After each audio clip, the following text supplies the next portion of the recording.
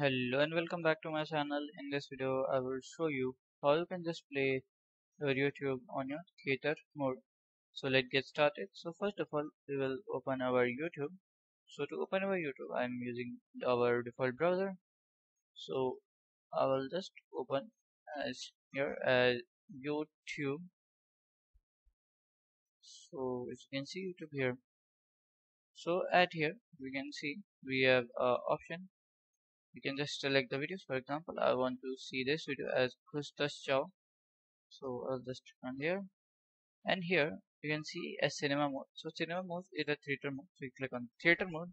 So you can just see the video on the theater mode. So if you find this video helpful make sure you like subscribe and share the video. Thank you for watching